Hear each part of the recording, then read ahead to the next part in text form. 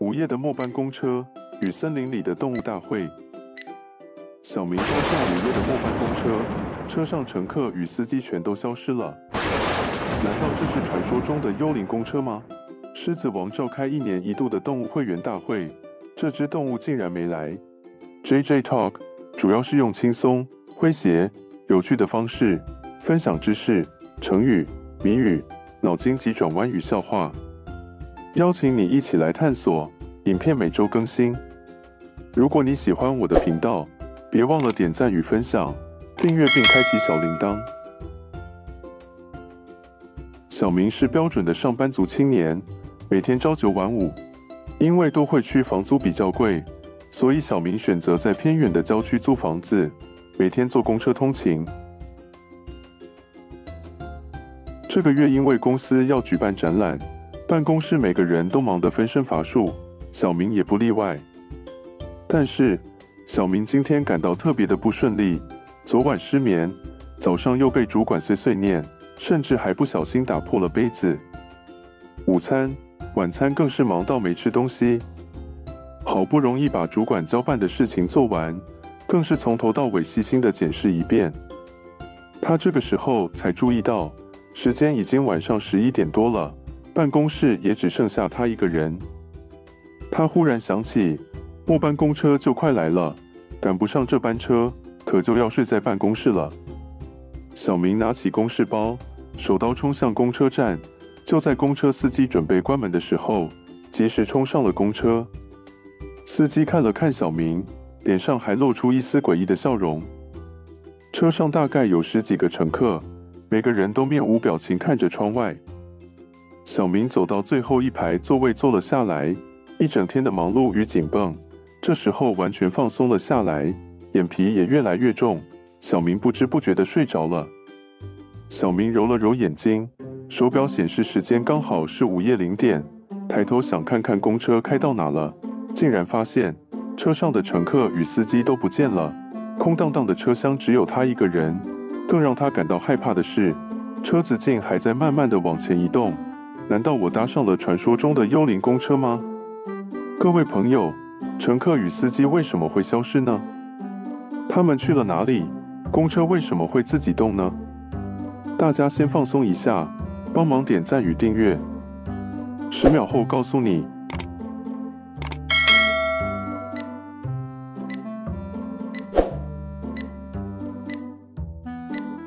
好的，答案揭晓。因为公车故障了，乘客与司机都在帮忙推车。根据非正式统计，人们在面对发生离奇事件的当下。有百分之八十的情形是自己吓自己，大家也不用太过探讨这个故事答案的细节，主要是想透过这个诙谐的答案，提醒大家，在发生不可思议事件的当下，必须冷静沉着不慌张，尤其是不可先入为主，因为事实可能不是你想的那样。动动脑时间，老师问小明：“你知道怎么把大象放到冰箱里面吗？”小明回答说。太简单了。第一，把冰箱门打开；第二，把大象放进去；第三，把冰箱门关起来。Bingo，小明你太厉害了，完全正确。那么你知道怎么把长颈鹿放到冰箱里面吗？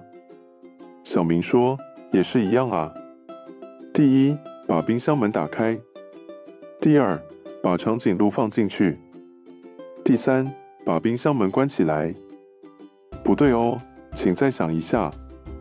应该是：第一，把冰箱门打开；第二，把大象拿出来；第三，把长颈鹿放进去；第四，把冰箱门关起来。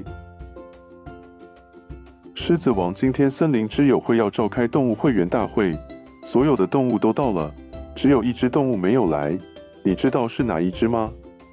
答案会在下一期影片公布，敬请期待。上集解答时间：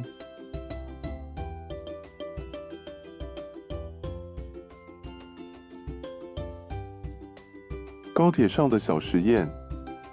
小明坐在时速三百公里的高铁列车上，向上垂直抛出一枚钱币，钱币在空中的时间是六秒。请问钱币落下的位置距离小明有多远？答案是，钱币会落在原处，小明手上。这是因为惯性的原因。钱币虽然抛向空中，但是在空中会维持原有的惯性，也就是与列车同一速度，所以最后还是落在小明手上。生活中的惯性例子：人在静止的公车中，公车突然前进，人会向后仰；反之，前进的公车突然减速，人会往前倾倒。有趣的看图猜成语，答案是格格不入。刀枪不入，因为它们都是蓝色的，blue，不入。这集影片到此结束，别忘了帮忙点赞、分享与订阅。